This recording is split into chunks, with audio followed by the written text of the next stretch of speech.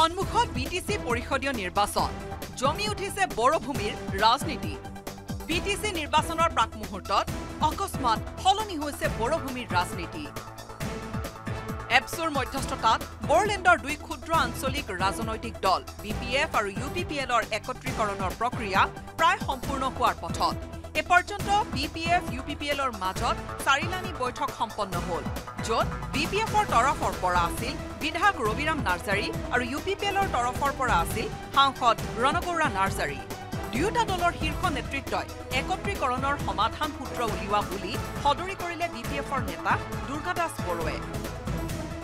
তেওঁলোকৰো এটা আন্তৰিকতা দেখিবলৈ পোৱা গৈছে এই ক্ষেত্ৰত। আমাৰ যেনেকৈ আন্তৰিকতাৰে আমি এই বিষয়টো পজিটিভ হ'লে ভাল হ'ব বুলি আমি ভাবোঁ। মুৰব্বীসকলেই আল্টিমেটলি গোটেই দলটোৰ যিখিনি কথা সেই কথাখিনি তেওঁলোকে লৈছে লৈ তাৰ মাজত যিটো উত্তৰ উলিয়াব পাৰি তেওঁলোকে চিন্তা কৰিব। আৰু সেই পৰ্যায়টো আপুনি যিটো কথা ক'ব বিচাৰিছে সেইটো সেইটো পৰ্যায় মই জনাত সমাপ্ত হৈছে ইতিমধ্যে।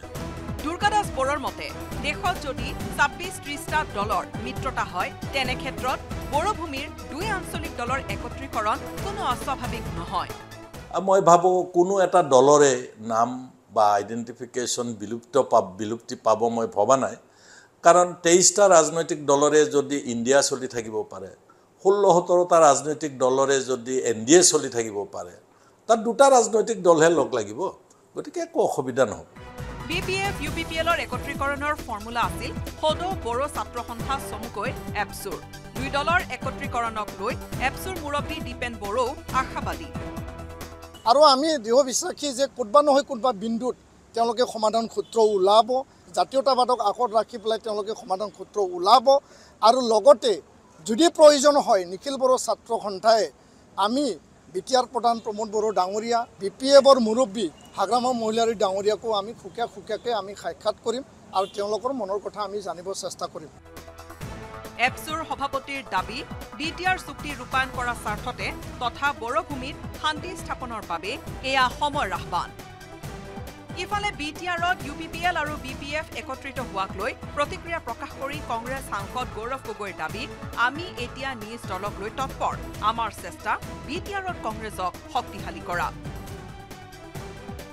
বিপুল বৰ্মনৰ report news eighteen Assam north east.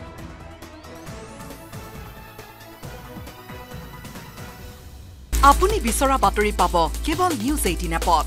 News eighteen app download কৰিবলৈ স্কেন কৰক এই Q R code Google play ষ্টৰতো পাব এই নিউজ এইটিন এপ আপুনি বিচৰা বাতৰি পাব কেৱল নিউজ এইটিন এপত নিউজ এইটিন এপ ডাউনলোড কৰিবলৈ স্কেন কৰক এই Q R code Google play ষ্টৰতো পাব এই নিউজ এইটিন এপ